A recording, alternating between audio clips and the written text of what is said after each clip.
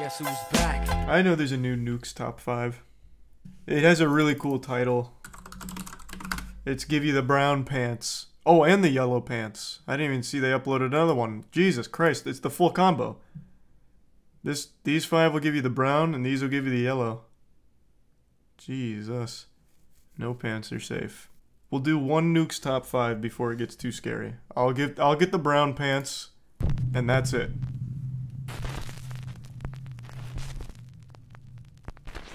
Watcher.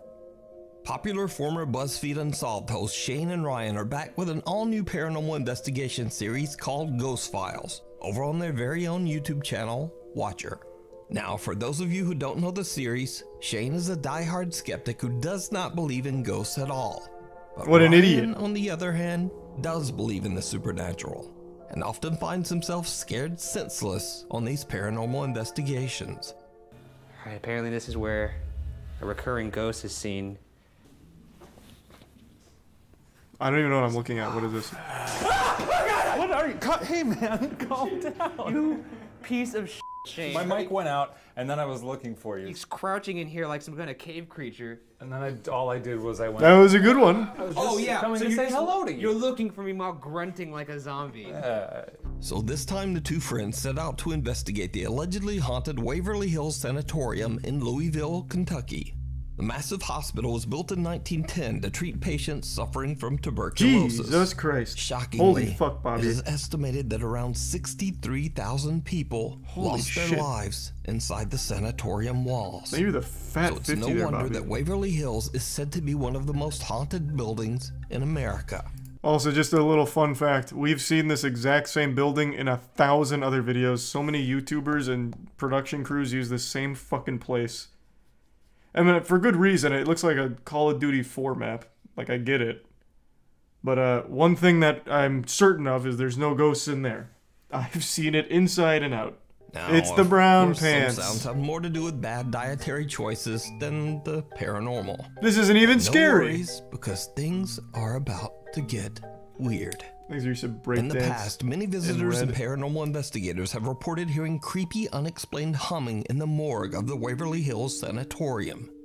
When Shane and Ryan explore the area, this happens.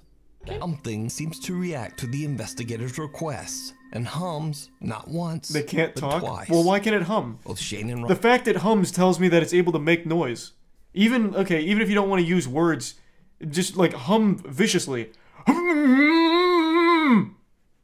Like you've been bound or something. He wants his presence to be known. Well, then really commit to. and to this day, they still have no explanation for the creepy sounds. The reason why Shane never gets anything in his solo investigations is because uh, he's an enormous d-bag. Something very strange also happens. Ben shits himself When Shane again. finally makes his way back to Ryan and the rest of the team, he admits that at some point he believed he might not have been alone. So I didn't actually react to it in the moment. I love the idea of ghost hunting. It's something we've always wanted to do, but actually doing it is so fucking boring. Unless you set up like little scares, it's the, just the lamest content. It's just walking around gross buildings. Which I guess has its own like merit of fun, like urban exploring, but it's just so fucking boring. I did this isn't ghost hunting, but since I went to University of Tampa, that plant center, the um, plant hall, is considered one of the most haunted places in America, I think, or it might be Florida. And we used to go around there late at night listening for things or looking for things, but there's nothing. There never is anything. It's just fucking boring. So you have to like set it up beforehand for it to be fun content or enjoyable. But I love the ideas of the I love the idea of it. Sick. A creepy translucent figure can be seen standing behind Shane in a doorway. Now, Shane doesn't see the apparition, but he does admit that he heard some and Tier one strange noises at the exact same moment. So could this be the spirit of a former patient of Waverly Hills Sanatorium? As always, I leave it up to you to decide. If you found a great ghost video online or recorded one yourself, please send it my way at nukestop5 at gmail.com. Not clowning around. He has to be self-aware. There's no way he thinks this stuff is real. Are you talking about Nuke? Yeah, he clearly just does it because it's just fun content for him just to compile some of these YouTube videos into a top five. And I agree, it is fun. I don't think he actually believes it though. He he also has done like the top, or actually no, this was it Nuke that used to do the top five gnome sightings, shit like that. I think that was Nuke. Like he just does it because it's fun content, not because he actually believes it. TikTok user Jacob explains in his videos that he's recently inherited his grandmother's house after she passed away. But Jacob says that he His recent can't shake the strange feeling that something in the old house just doesn't want him there. He has a gross then ass Things house. just get weirder because Jacob finds a creepy old jester doll that belonged to his grandmother. my grandmother's old house. She left it for me, and when I got here, I saw a bunch of cool stuff. And one of the best things is right behind here. Oh, yeah. Yeah, what's up, pussy? Call him Jeffrey. Jacob says that when he was a child, the sight of the doll used to terrify him. I, I can't He says imagine it why. doesn't really bother him anymore. But then, late one night, Jacob wakes up to hear knocking coming from his bedroom closet. I just heard knocking from the closet. Well, we can at least rule out the possibility that it's the jester doll. He's just hanging out.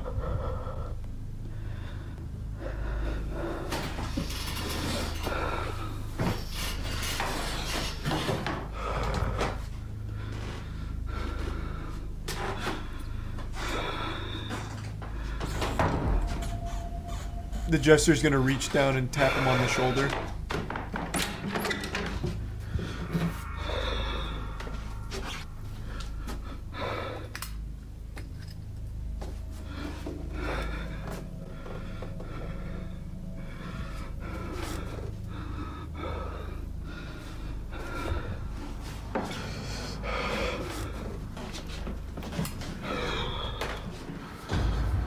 Oh, fuck.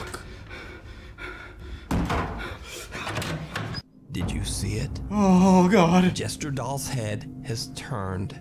Before, it was facing the bed, but now it is staring right at Jacob as he closes the closet door, almost as if it's keeping an eye on him.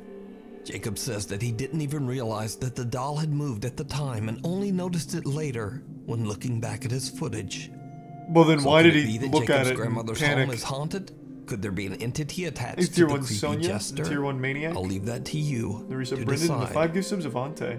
A haunted hello. Thank you for that. Christine Wright from the Paranormal Investigation Team Brian CBS Paranormal sets out all alone to explore the so-called quote pirates graveyard in Portland, England. The scenic cemetery was built You best back start in believing in 1475 ghost stories. and has gotten its You're odd nickname one. from the many gravestones that feature carvings of skulls and crossbones. Christine finds herself completely alone when suddenly something happens that she still can't explain to this day. Um, completely out of the way, so nobody. Oh, hello. Oh, oh, What? what? Aye, Miss Swan, come out of the bushes. Hmm. Sure, I saw somebody shouted hello then, or said hello. Christine is all alone when she hears something behind her, and as she turns, she hears a woman nearby clearly say hello. Um, completely out of the way, so Is nobody. some ruse Oh, hello. In Oh, hentai? oh, hello. Oh, hello. Oh, A bit shocked, she immediately answers back hello. But there's no one there. In fact, there's not even anyone else in the entire area that she's exploring. So could it be that the pirates' graveyard in Portland, England is haunted by the ghosts of those who are laid to rest there? Probably. Let me know. The devil down below. This next creepy video was recorded on an allegedly cursed river in Indonesia. cursed now, many river? locals claim that a strange creature What lives in this river and surfaces only after dark to prey on its victims. Wouldn't a cursed river. I'm getting deep into the quantum realm of curses. But I feel like a cursed river would be like the absolute worst case scenario for everyone because as things like precipitate, then it's going to rain down that curse outside of the river. Because I imagine with the river, the curse is in the water, right? So that's gonna just spread everywhere. Like we're all fucked. Wouldn't be localized to the river anymore. Unless of course it's like the, the sediment at the bottom, I guess. And the fish too. Everything's gonna be fucked. So, in the dead of night, four friends set out to attempt to capture video evidence of this alleged mysterious creature. Things are so The guys drift along the river in their boat for hours Shiny until the they see something bozo. in the water near an abandoned shipwreck. They're What golden. happens next is downright terrifying.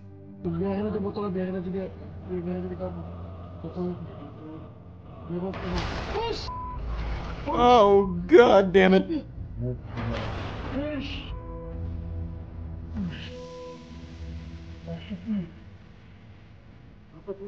What looks like a pale hand with long webbed fingers quickly splashes out of the water and snatches at a plastic bottle floating on the surface.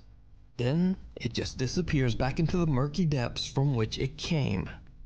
The four friends believe they might have captured the infamous water creature that is said to live in the river. I think we did. But what do you think this is? Let me know. Behind your back. Connor Lyles from Fresno, California is coming home late one evening when he suddenly hears something right behind him. His doorbell camera captures something downright chilling.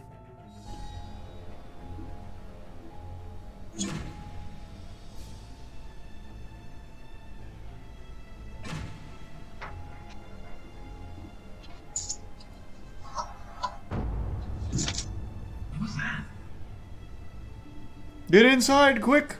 A It's the Smile Man. figure can be seen walking from left to right behind Connor. Suddenly it appears again, but now a lot closer. Connor hears something behind him and quickly turns around, but sees no one there. When he checks his doorbell security camera, he sees the bizarre dark figure and realizes that perhaps something was following him. Fake as But fuck, what yeah. do you think is going on here? Is it real? Or I think it it's all real. Just an elaborate hoax. Here and on the Twitter there and on the My TikTok. pants have been browned. Click on one of these links for more scary videos and hopefully I'll see you back here again next time. Nice. Good browning. Okay, I'm gonna release a little bit of yellow real quick, and then maybe I'll decide if uh, we do one more. Just give me a second though. I'll be right back.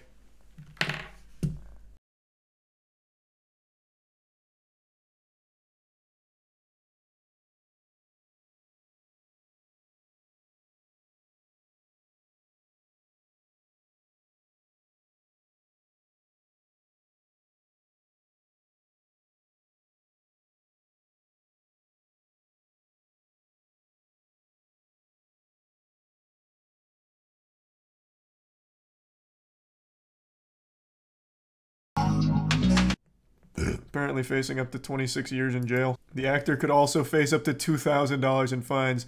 $2,000 in fines? Holy shit. This is gonna this is gonna ruin them. the, the 26 years is definitely the uh, the more apt punishment so far with the Ezra Miller wackiness. This 2000 in fines just feels like it's not even worth mentioning. I don't even know why that's there. That makes it sound like nothing went wrong. Miller was charged in Vermont and appeared remotely on October 17th for a session in the criminal division of the Green Mountain State Superior Court. The charges stem from an incident that occurred August 7th in Vermont where Miller allegedly stole three bottles of liquor from the pantry of a private home. According to Miller's representative, the home was of Miller's childhood friend, and the actor believed they were able to enter the home to obtain some rice, some rice wine as they were cooking with their mother. Rep also said Miller did not realize the friend didn't want to be friends anymore. This is such a weird article already. At court on Monday, Miller was told to stay away from the owner of the home as well as another Vermont resident, and the next hearing for this case will be on January 13th, 2023. Of all of the things Ezra Miller has done over the last year, this is the one. This is the one they're finally going after. Uh, It's, no, surely they had to have stacked on everything that happened in Hawaii and everything. And it joins incidents in Hawaii, Massachusetts, and North Dakota. These allegations include manipulating, intimidating, endangering, disorderly conduct, throwing chair at a woman, grabbing woman by throat, grooming minors, and more. So were all of these wrapped up into this trial, or is that just like side stuff? I, so they really wow, all of that was given the okay, but stealing some rice wine is where they're finally drawing the the line in the sand. No, not the rice wine. I'm sorry. Twenty six years in the slammer. Ignoring the fucking kidnapping, uh, the breaking and entering, the threatening people's lives, throwing chairs at them, and all kinds of crazy shit. Huh? Yeah, it must have been some crazy wine, man. That shit must have went so hard. It's up to 26. Yeah, no, I, I, I can read that. I see that. But even still, you might not want to upload that. People are against AI art now. Well, AI art's always going to be a controversial thing, but it's always in the way that you use it. Uh, it it's it's not like I was ever going to make a music video for Let's Party, Party, Party Tonight.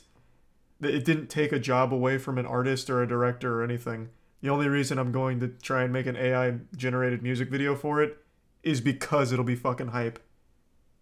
But there's always a way to misuse the technology, of course. The art stealing and why use AI when you pay, when you can pay an artist for stuff. Are you talking about with my AI generated music video idea? What? What are you talking about? I, I just wanted to give it the lyrics and have it spit out a, a music video to it. That, that's not something I would ever pay anyone to do because I, I just wouldn't have a music video for it. It's a song I made when I was 11 years old. Why the fuck would I want like an actual music video for it? The whole point is to see what AI does with a child's lyrics and a child's song. It's the entire point of the video. Cody Code did that. Oh yeah, I heard he beat me to that, unfortunately. I, I haven't seen it yet, but I feel like it's not the same as mine. It's a fucking CD I have from when I was 11. It's right here. It's not the first person to generate a music video using AI. Far from it. It's just I think it'll be a novel idea to try and turn this. Oh, you can't read that at all. Turn this song into a music video and have the AI fucking meltdown trying to come up with something for it. I mean, there's like great lines in there. Buy six pounds of chocolate. We're gonna lose control. Put on your favorite jam now. We're gonna break parole. So, I think it could be. I think it will be cool. There's new Rooster Teeth drama. There's a video that leaked of Kdin saying a ton of racist remarks. Well, I can assure you I can't watch that on stream if there's like actual slurs and shit in there.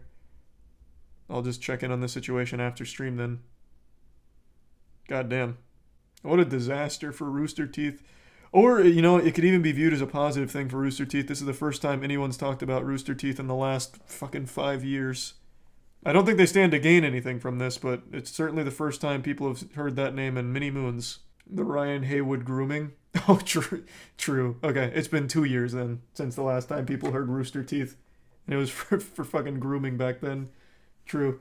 What happened with Rooster Teeth? You mean outside of the drama? I, I've already talked about it a lot, but the, the long and short of it is they just legitimately fell off. That kind of content just stopped being as popular as it used to be, and they never really changed it. Just kept doing it, still keep doing it, and people are just kind of tired of it, so they just watch other things. They do have like other channels that do pretty well, like Rooster Teeth own channels that still do fine, like Death Battle and all that. It's just like the main Rooster Teeth hub. Like Jake Gyllenhaal in your yearbook. I really don't though. I wish. Look like Jake Gyllenhaal my ass. He's talking about someone posted someone from my old high school posted my yearbook where uh my where I have like a little page in there. Where, where was it? Here, I'll pull it up. It's cute. I, I wonder who it was though. I went to a school with a graduating class of like 32, so it's there's not a whole lot of room for it to be someone I don't know. Uh, actually, I shouldn't pull this up because it has classmates' full names in there. Here, I'll just show you my page then. oh yikes! this is this is so bad. Um, here, uh, I gotta be tactical here because the next page has someone else's information on it. So you only get this one page here where I'm chasing my own three-pointer here. Of course, I drained it, as you would expect. Obviously. And there's me again. Look, look at that. Look at that wingspan, though. God damn. Could swat a plane out of the air with that. No beard, I know. I didn't grow the beard till sophomore year of college, and it was for the Hunger Games, and I just never shaved. One girl I was talking to at the time said she liked my beard, and I was like, all right, so this will be the rest of my life, I guess. Thanks to the resub pumpkin. You look normal height in these pictures. You guys legitimately don't get it. Everyone in my normal friend group is 6'1 or above. So I just always look super short in every fucking video. I 5'6 is not like alarmingly short height. It's below average, but it's not like alarmingly short. Matt is 6'5. Andrew is 6'5. Uh, Danny is 6'1. Like literally everyone I'm around. Chase I think is 6'2. Aaron is 6'1. Literally everyone I am around is just like way fucking tall. Yep, class of 2012, the year the Mayan calendar convinced people the world might explode or something. But I told you I used to be a ball player. Yes, sir. Man, I could have gone pro. Can't show the first photo because the people next to me have like their whole name there, so I can't really pull that one up. It's it's just this. This is just what I looked like. So this is just that was my my normal yearbook photo. Just this smiling. Weren't you trying to get laid before the apocalypse at that time? Yeah. I was in a race against the clock to lose my virginity before the earth blew up just in case. I had all kinds of like protocol like uh like not time limits because it's not like a time trial in a game, but like I- I'd go out as much as possible, as often as possible to try and maximize my chances of getting laid because I knew I only had till December of that year. I failed. So if the world really did end in 2012, I would have died a virgin. So thank thank God the Mayans got that one wrong, huh? We're all the better for it. Weren't you scared that day? Yeah. Of course, everyone was. I spent that day playing Halo 4, which is really sad because Halo 4's multiplayer was awful. Are you good at basketball for real? Uh, I'm not that good anymore. I just don't play often. Last time I played was with Mr. Beast, and I was doing well. I can still I can still hit threes pretty well, but my cardio's not great, so I can't actually get up and down the court super well. But when I'm there, I can make plays. I can still wheel and deal a bit. You let them win? No, they didn't win. We won. Well, at least in the first game. I think. I actually now now I'm blanking on it. I'm pretty sure we did. Is Moonfall worth watching? I think it is the best bad movie that's ever been made. Bar none. What's the update on Amouranth? Uh, she's safe. She even streamed today, but I don't know what's going on with like her and her husband if they're staying together or not. It's still kind of vague. That I couldn't tell you. All I know is that it seems like she's healthier, like already. Talking about like able to get some like sleep and do like streams she wants to do with normal hours. But past all like the surface level stuff, no idea. All I know is what you guys know. Take on mullets? I think mullets look like shit, but they're making a huge comeback right now. I don't know what's going on, but like the trashiest fashion is becoming popular again. Fucking mustaches are back, mullets are back. It's so weird. I don't know why. I see them pretty often now though. Like I think they work for some people, but on the whole, like goddamn, come on. You're describing me right now. Well, this isn't like an intervention, man. Like I said, I think it can work for some people, but just as like a general trend, it won't work. Oh, I've looked at the mullet championships actually. They're pretty cool. That and the uh, wacky beard ones are pretty awesome. They do these things all the time for beards and mullets and shit. Is that a mullet? Dude, He's a t- the tier one extinct. shake it? And we sub Jonah and your Hikikomori. Dude, I mean, it, it's, it's pretty cool. Do the, do the mullet shake. Shake. Do But yeah, I keep up. Martha Stewart posted a thirst trap on Twitter as an ad. I actually saw that on Twitter. She went in there with overalls and nothing over uh, nothing underneath. Reminds me of that um what's her name on YouTube? The older lady with absolutely massive tits who for some reason wears no bra, nothing and then just overalls and gives you like very base level information on motorcycle maintenance. Does anyone know what I'm talking about? I believe Leon Lush did a video on her a long time ago. Put her on. No, I absolutely can't. There is no chance. It is always cold in that factory. No one knows her name? Fuck, fine, I'll find it real quick. But yeah, this is basically what Martha Stewart did, taking a page out of her playbook. Uh, it wasn't just motorcycles. She does product Idiot. reviews. Her name's Biker Stuff. Reading the comments is always such an adventure.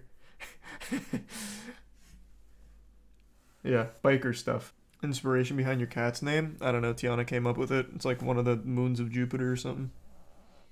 Resub Yawa. I'm one short in and already seen a nip slip. Yeah, that's the beauty of biker stuff. You get a product review and a little nipple reveal reveal from time to time. And the comments catalog every single one.